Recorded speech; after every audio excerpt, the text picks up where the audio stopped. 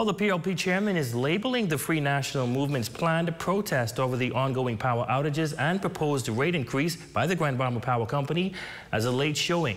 The chairman questioning the credibility and the timing of the FNM's stance on the matter, suggesting that their actions come well after the issues have been highlighted a day late and a dollar short. PLP Chairman Fred Mitchell is questioning the Free National Movement's announcement of a protest at the Grand Bahama Power Company over ongoing issues affecting residents. Mitchell is criticizing the FNM's sudden activism, suggesting it appears to be more politically motivated than a genuine effort to address the concerns of Grand Bahamians. Mitchell pointing out that the FNM's planned protest comes weeks after two similar protests were held against the Grand Bahama Power Company, both attended only by Central Grand Bahama MP Hiram Lewis. They called in Hiram Lewis uh, about a week or so ago and hauled him over the coals for being involved in the last public demonstration uh, that took place in Freeport.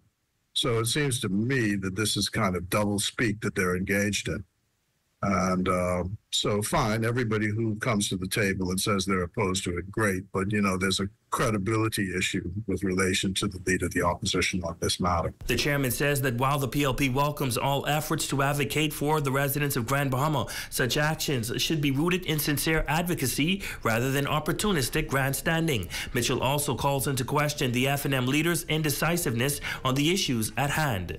Well, my feeling is that if you're if you're against the rate increase, you should jump in with both feet and say that right at the start. You shouldn't be equivocating. And what he did was he equivocated. He said, oh, well, I'm against the increase. After, of course, the public demonstrations took place and Mr. Lewis showed up on the first demonstration.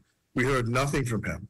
And then as the pressure increased, he said, oh, I'm against the rate increase, but at the same time, I support the Grand Bahama Port Authority. Well, you know, this is having your cake and eating it too. You need to be clear. As the proposed GBPC rate increase, hike in fuel surcharge, and frequent power outages remain hot button issues in Grand Bahama, the debate has drawn strong responses from both political parties and the wider community. PLP chairman reiterates the government's firm stance on the matter. We do not think that the Grand Bahama Port Authority has the jurisdiction to deal with this matter. This is a matter for URCA and that's our position, simpliciter, without any adornment or any uh, garnish, anything. That is our position.